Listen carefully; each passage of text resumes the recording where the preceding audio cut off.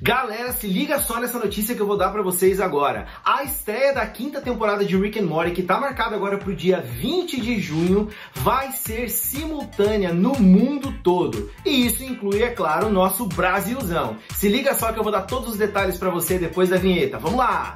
Fala galera, aqui é o Josh, tudo bom com vocês? Vídeo relâmpago aqui para falar sobre essa notícia que deixa todos nós fãs de Rick and Morty muito felizes, principalmente aqui no Brasil, né galera, que é mais difícil. Olha só, então como eu falei no começo para vocês, o episódio, o primeiro episódio da quinta temporada, vai ser lançado simultaneamente no mundo todo. E aqui no Brasil, ele vai passar na faixa da meia-noite no canal Warner Channel. É isso mesmo. Então vai passar na Warner, galera, dá um jeito aí de assistir esse primeiro episódio, que já vai estar disponível aqui pra gente também. Mas não é só isso, olha só, depois que acabar o episódio, o canal ainda vai transmitir o curta de Paul Robinson, aquele lá que foi usado para promover a quarta temporada, o pixel art do Rick and Morty e depois disso ainda vai ter aquele outro curta no estilo de anime, mas não é o Genocider que eu gostaria que fosse, vai ser o Shogun, parte 1. Pois é, galera, é a primeira vez que isso acontece aí nos lançamentos de Rick and Morty, uma coisa doida, mas como sempre, né, Rick and Morty tem algum tipo de surpresa no seu lançamento.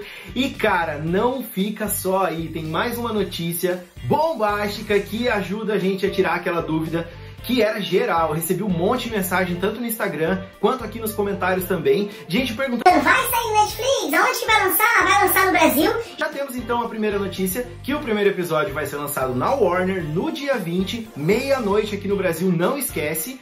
E os outros episódios vão estar todos disponíveis. É isso que você ouviu todos eles, a temporada completa, vai estar disponível no HBO Max a partir do dia 29 de junho, que é o lançamento do canal. Então tá aí, matamos a charada, galera. Por enquanto ainda não foi falado nada se vai ter no Netflix também, mas a dúvida que tinha se teria no HBO Max ou não, agora está sanada, vão ter todos os episódios já disponíveis de uma vez, também acho que é a primeira vez que isso acontece em Rick and Morty, no lançamento, pelo menos aqui no Brasil. Enfim, então dessa vez teremos todos os episódios já disponíveis. Galera, o que eu tenho para dizer para vocês é que agora o hype foi nas alturas, eu tô ainda mais ansioso. Quero fazer um monte de vídeo para vocês aí dessa nova temporada. Vamos analisar cada episódio, cada detalhe de tudo isso cada referência e tentar dissecar todo e qualquer acontecimento dessa tão esperada quinta temporada. Meu, até que enfim vai chegar. Não tô nem acreditando, falta menos de uma semana para todos nós podermos enfim assistir a quinta temporada de Rick and Morty. Só para relembrar com vocês, galera, e trazer algumas informações novas também, essa quinta temporada está recheada de referências à cultura pop, como todas as outras de Rick and Morty, né? E pelo que a gente já viu nos três trailers e um teaser que já foram lançados,